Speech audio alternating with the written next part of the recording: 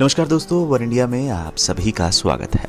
IPL 2020 का पहला match 19 सितंबर को खेला जाएगा। पहले ही मैच में मुंबई इंडियंस और चेन्नई सुपर किंग्स आमने सामने होंगे। हालाँकि, मैच से पहले चेन्नई सुपर किंग्स की परेशानियाँ खत्म नहीं हो रही हैं। टीम के बल्लेबाज ऋतुराज गायकवाड़ अब कोरोना से उबर तो गए हैं, लेकिन वो अभी टीम के साथ नहीं जुड़ पाएँगे। बताया जा रहा है उनका दो और टेस्ट होगा। दोनों टेस्टों में ऋतुराज को नेगेटिव आना होगा। उसके बाद ही वो टीम के बायोसिक्योर बबल में वापस आ पाएँगे। हालाँकि अच्छी खबर ये है कि दीपक चाहर पूरी तरीके से कोरोना से बाहर आ गए हैं और वो टीम के साथ जुड़ भी गए हैं।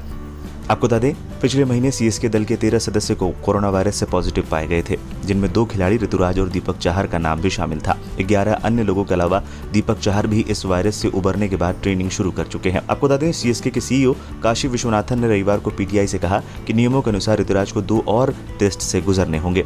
दोनों में नेगेटिव आने के बाद ही वो वापस टीम के साथ जुड़ पाएँगे। आपको बता दें, भारत की टीम में नियमित रूप से खेलने वाले ऋतुराज गायकवाड़, दीपक चाहर के पॉजिटिव पाए जाने के कुछ दिन बाद संक्रमित पाए गए थे। ऋतुराज को सीएसके की टीम में सुरेश रैना की जगह लेने का दावेदार माना जा रहा है, लेकिन सीएसके को थोड़ा इंतज़ार और करना पड़ सकता है, क्योंकि रविवार और सोमवार को उनका परीक्षण होगा।